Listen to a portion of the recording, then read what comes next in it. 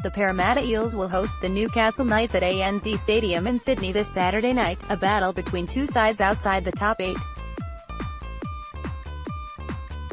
Team form guide the Eels travelled up to Brisbane last week, looking to keep their slim finals hopes alive with a win.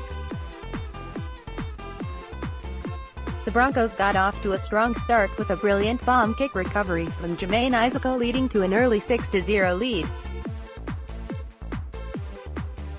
Another try to the home side gave them a 12-0 lead at halftime, with the Eels failing to convert their opportunities. The Broncos seemed content with taking their foot off the pedal in the second half, while the Eels continued to create chances through the middle of the park, and almost every chance ending with an error and gifting the Broncos possession. An intercept try for George Jennings and two penalty goals was all the visitors could manage, as the Broncos won comfortably 18-10. The Knights entered their clash with the Sharks looking to snap a three-game skid. However, they were on the back foot early as a penalty awarded to the Sharks led to a third-minute try for Jesse Ramien.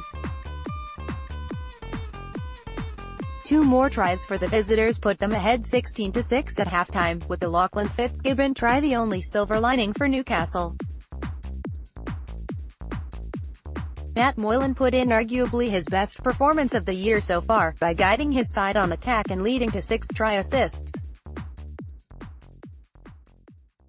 The second half started with the Sharks making the most of their chances, and scoring three tries in the first 10 minutes to take a strong 38-6 lead.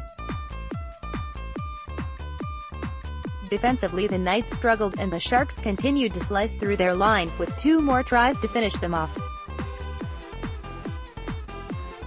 With very little to show for their efforts, the 48-10 drubbing is no doubt Newcastle's low point so far this season. Squad New Eels Corey Norman is out this week due to suspension, with Bevan French moving to his fullback and Josh Hoffman returning on the wing. Knights Nathan Ross has a groin injury and is replaced by Cory Denniss. Kalyn Ponga has been named despite head issues recently, and Jacob Lillyman starts at prop for the suspended Herman Ese'ese. Preview key battle with a move to his preferred fullback role, Bevan French could be a dark horse out of backfield for Parramatta, sizing up against Newcastle wonderkid Kalyn Ponga and creating a key battle. French has been rumored to be moving on from Parramatta in 2019, but for now he remains an important piece of their backline given the injury to Jarryd Hayne and suspension to Corey Norman. Kalyn Ponga has been labelled one of the top future stars of the NRL and since the injury to Mitchell Pearce has become the go-to man for the Knights since.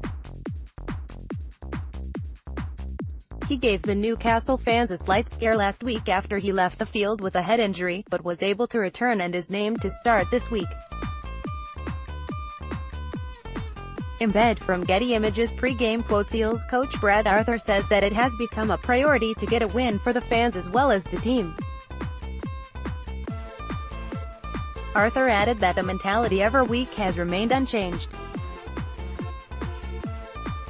Knights forward Aidan Guerra said it is always tough to bounce back against big losses, but said the team's focus is everyone showing up mentally. Key statistic Despite a rough few years for the Knights they have won four of the past six games against the Eels, including their last encounter last year 29-10 in ANZ Stadium.